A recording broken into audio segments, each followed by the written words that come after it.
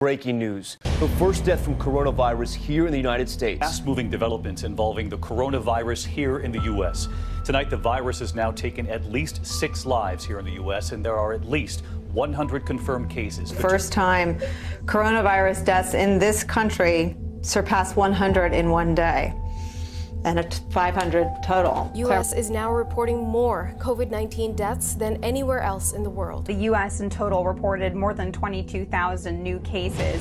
Uh, that was up from about 20,000 the day before. Just a few days, more Americans will have died from coronavirus over a span of roughly nine weeks than died in the Vietnam War over a span of 12 years. It's a big number 3,283,000 are initial jobless claims. With two White House staff testing positive for coronavirus, with senior members of his task force self isolating. When you do testing to that extent, you're going to find more people, you're going to find more cases. So I said to my people, slow the testing down, please. Saying that he told officials, to, he told his people to slow down testing is not true. It was a comment that he made in jest. It's a comment that he made in passing.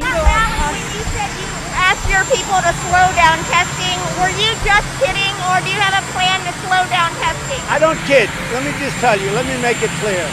6 million in a single week, a staggering number, bringing the total number of jobless claims in the U.S. for the month of March above the 10 million mark. Even as unemployment rates remain at historic highs, the coronavirus pandemic shows no signs of slowing. With so many out of work in the midst of a health crisis, the spectre of mass evictions is now real. Many states are experiencing their highest infection rates since the crisis began. Nearly 76,000 cases reported in a single day. It is the largest number of cases, a new record in one day so far. There are nearly 3.7 million cases in the U.S. to date, more than 140,000 deaths as well. The worsening unemployment picture is simply staggering, skyrocketing in just a month from a 50 year low to nearly 17 million seeking benefits in just the last three weeks. But that number is most certainly underreported.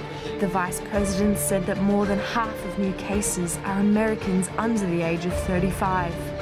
That's being complicated by the fact that many are asymptomatic. Coronavirus is raging and on the move. This week, 13 states saw a record number of cases, 15 states a record of hospitalizations, and seven states a record number of deaths. The death toll from the coronavirus, take a look, up 20% from a week ago. More than 145,000 lives have been lost. We are five months into this pandemic. More than 150,000 people have died of the coronavirus in the U.S. 20,000 Americans are predicted to die from COVID 19 in the next two weeks as the virus spirals out of control. The country's top infectious disease expert has blamed the disaster on one thing, claiming the United States is anything but united. Tonight, inside hospitals in the South and Midwest, some emergency rooms are now taking on a growing wave of COVID patients as officials brace for a tsunami of new infections. Protest against a statewide directive to wear face masks. Mask denial in the face of the pandemic is the paradox of America. This weekend, the U.S. passed the 5 million mark in coronavirus cases, by far the most on the planet. Gotta swab the inside of your mouth for 20 seconds. Still, as self serve testing sites pop up in California with results often overnight, in other parts of America, test results can take a week or longer, say critics, rendering them almost meaningless. Meanwhile, Americans continue to gather. I have no concerns on the COVID 19. It doesn't, it doesn't bother me one bit.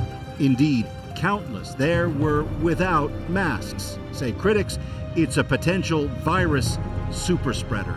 On Capitol Hill, lawmakers continue battling each other over how to financially help Americans hurt in the pandemic as numbers in this country continue to grow broadly. Now more than 160,000 dead and counting. This morning, the U.S. hitting another grim milestone, surpassing 5 million reported cases of COVID 19. You invite, you know, uh, tens and hundreds of thousands of people, it, it changes everything. Many other states are seeing some people boldly ignore safety regulations. Extra unemployment benefit for millions of Americans is due to expire in less than six hours. It's going away. No, it'll go away. Things go away.